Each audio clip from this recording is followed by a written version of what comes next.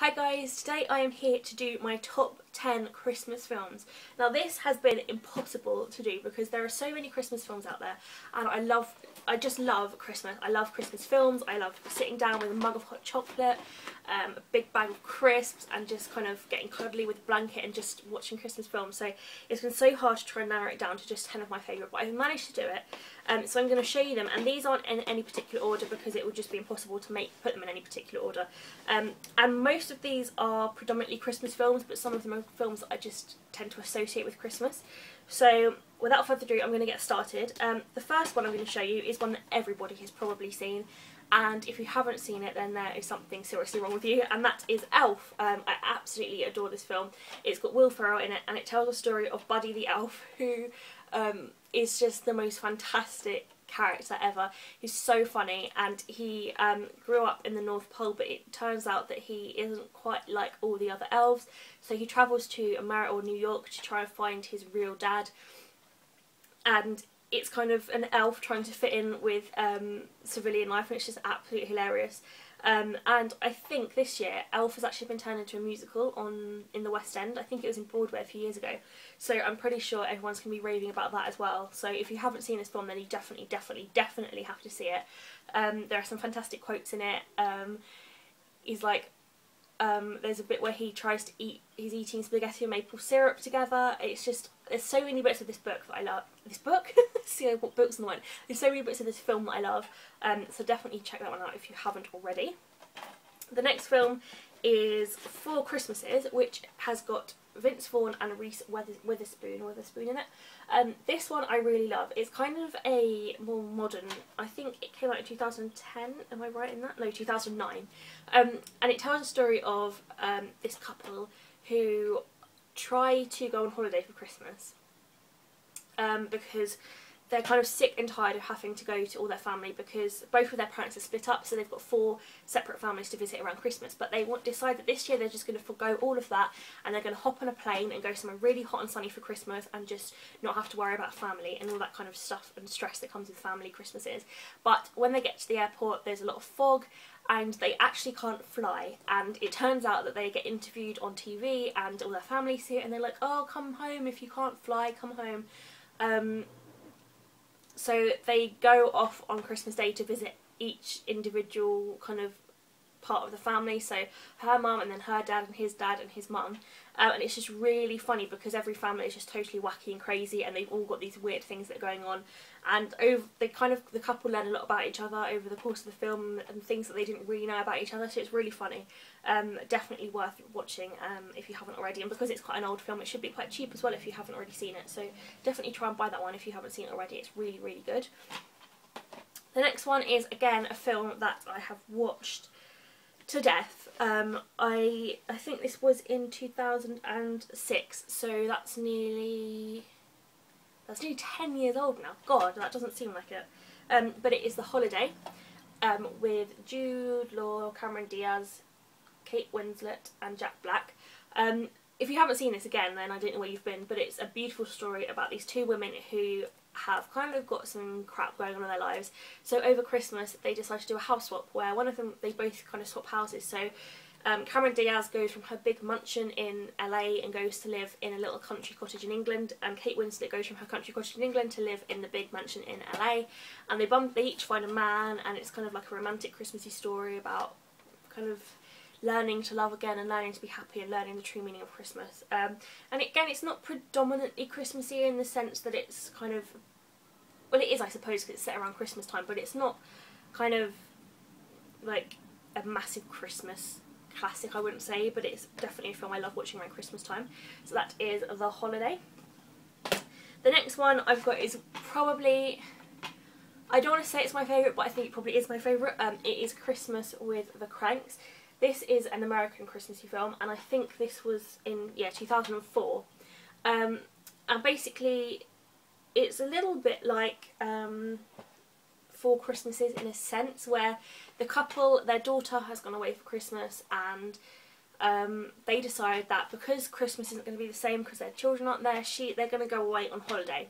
So they decide to book a holiday like a cruise and they get ready to go, but then they get a phone call from their daughter saying that actually she's coming home for Christmas. So then there's this race against time to try and kind of reinstate all the Christmassy things because they decided that they were going to cancel Christmas. Um, so all of their neighbours hate them, all of their neighbours don't like them because they haven't put their Christmas lights up, they haven't got any Christmassy food in the house. Um, so they go on this massive mission to try and Christmasify their house before their daughter gets back and it's just really funny watching them try and rush around the supermarkets fighting over the last turkey and trying to get their friends to help them put all the decorations up. So it's a really, really good Christmas film. Um, very funny as well and yeah, I definitely recommend this one if you haven't already seen it. The next one is going to be, again, a film that's not predominantly Christmassy in the sense that it's not, like, I don't think it's classed as a Christmas film, but again, it's one I love watching at Christmas time, and it is Serendipity with, what's his name, John Cusack and Kate Beckinsale. Um, and this tells a story of a, or the two main characters here, who are looking for Christmas presents on Christmas Eve, I think it is, or a couple of days before Christmas, and they reach for the same pair of gloves in the department store, and then it's kind of that meet cute moment where they meet each other and they kind of automatically they have these feelings for each other. So they go and share a hot chocolate, um, and they kind of have a chat about their lives, and he he kind of says to her, "Give me your number." Um, you know, I want to I want to be able to talk to you again, and she's saying she's very she believes very much in serendipity, which is like this idea that um, things happen because they're meant to happen. Um, and she says to him, well, if we see each other again, then we'll know it's meant to be. But if we don't see each other again, then that's it. It was never meant to be. So but he kind of tries to convince her to give him do something. So she writes her number on um, a banknote, and um, it kind of he, she she gives it away, and then she writes inside the book um, a book on a market stall in in the time of cholera, and then they never see each other again. And then he constantly is looking for a book this book that she's written in and trying to find out her number and everything. And it kind of follows them over a period of time and how their lives were meant to be together and how their kind of lives kind of tangled together. This is a really bad description of the film um, but it's just such a beautiful film. Um, I'll read you the blurb actually because this is really nice. Um, John Cusack and Kate Beckinsale are drawn together and take a chance with love in this critically acclaimed romantic comedy. In the course of one magical evening, Jonathan and Sarah meet unexpectedly, then part when she decides they must let fate determine if they're meant to be together. Years later, they are both engaged to others but cannot give up the dream that, despite time, distance, and the obstacles that conspire to keep them apart, they will one day meet again. So yeah, I just absolutely love this film, and I I never had seen it before until about a couple of years ago but I highly recommend it. It's probably one of my most favourite films of all time, so definitely, definitely watch this one. The next film is kind of like two films in one. Um, it is Nativity and Nativity 2. Um, I absolutely love the Nativity series. Um, it's just so funny and Christmassy and cute and just brilliant. I have watched Nativity 3. I watched it um, online this year. I watched it on Blinkbox because um, it came out I think on DVD earlier this year and I'm not going to lie, I didn't enjoy it as much as I have enjoyed the others. I think maybe it's run out of steam a little bit and the idea has been worn out too much. But Nativity 1 is just fantastic and Nativity 2 was also really good. And it basically tells the story of this group of kids at school who are trying to put on a nativity and they've got their teacher who is played by Martin Freeman and then they've got Mr Poppy who is this just amazing um, teaching assistant. He is just the funniest character I think I've ever seen in my life. And the kids are trying to throw this nativity, but people are trying to stop them, and it's just this really cute, festive story, and it's just got everything you possibly could want in a Christmas film. And the same with Nativity too. It follows the kind of same idea of children trying to put on a show um, and the adults trying to stop them and all those kinds of things. So definitely worth watching if you haven't. Um, there's some really catchy songs in there as well. So I love these films so much and I'm definitely going to be watching them both this year again. So that is Nativity 1 and Nativity 2. The next film, everybody is just going to kill me for saying this, but it is Frozen. Um, I absolutely love this film, and again, it's not predominantly Christmassy, but it is all about ice, and there is a snowman, and there's a reindeer, and yeah, that's that's basically Christmas to me. Um, I absolutely love this film. I know I probably shouldn't because I am 22 years old and Frozen was made for an audience of kind of like children, but I just think it's so brilliant Um, the songs in it are so catchy. The storyline is really beautiful as well about how love doesn't always have to be between a man and a woman. It can be between sisters and kind of how you know in in a lot of Disney films the kind of idea of true love's kiss was between a you know prince and a princess. But this shows that you know love between sisters is just as strong um, as love between a man and a woman. So really, really, really love this film and. I'm definitely going to be watching it a few times over Christmas, so if you haven't already seen it, I'm sure you have, but if you haven't, then I really recommend watching Frozen. The next one is again an animated film, and it, oh, I've put it the wrong way around. Um, it is Arthur Christmas. Uh, this came out in 2011, I think. Yeah, 2011. I'll just take, I don't I think it's, oh yeah, it's exactly the same inside. Um, and this tells a story of a little boy called Arthur who lives in the North Pole with um, Santa and his brother. And basically what happens is one year they miss out um, a present for a little girl and all of the people are like, oh, it doesn't matter, you know, she won't you know, it's only one person, but Arthur is determined. He's like, no, one person has. She has to believe in the magic of Christmas. She can't be left out. So he makes it his mission to try and fly around the world quickly in a couple of hours before Christmas Day dawns to try and deliver this present to this little girl. Um, and it's just absolutely beautiful. Um, really funny as well. Very festive, um, obviously. Uh, just really great comedy as well. Um, I think. I think uh, like with Frozen as well.